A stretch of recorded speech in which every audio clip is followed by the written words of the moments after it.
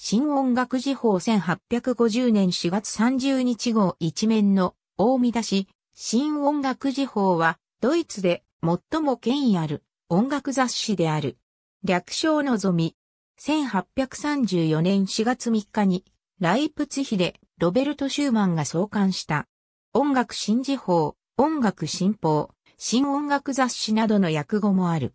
各月間で2016年現在なお刊行中である。一瞬は09456945。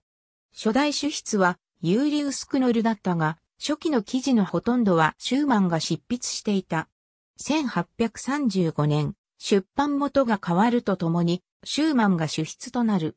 彼は同誌に多数の評論文を発表し、フレデリック・ショパンやエクトル・ベルリオーズといった新世代の才能を存分に商用した。1843年6月、シューマンは他の仕事の契約が原因で同志を去り、1844年にフランツ・ブレンデルが経営者兼主筆となる。ブレンデルが担当していた時期の記事で最もよく知られているのは、リヒャルト・アーグナーが K フライゲダンクの変名で発表した反ユダヤ的な論文、音楽におけるユダヤ性であろう。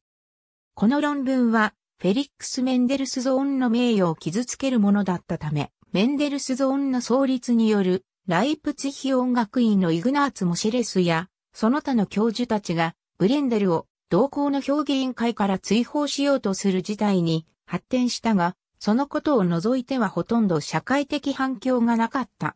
ブレンデルは1868年に死去するまで同志の主筆であり続けた。